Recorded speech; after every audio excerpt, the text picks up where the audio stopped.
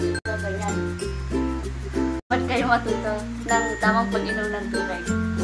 Ito na. Oh.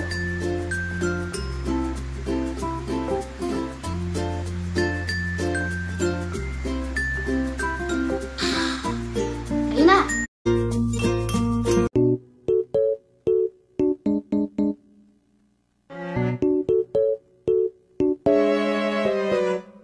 Thank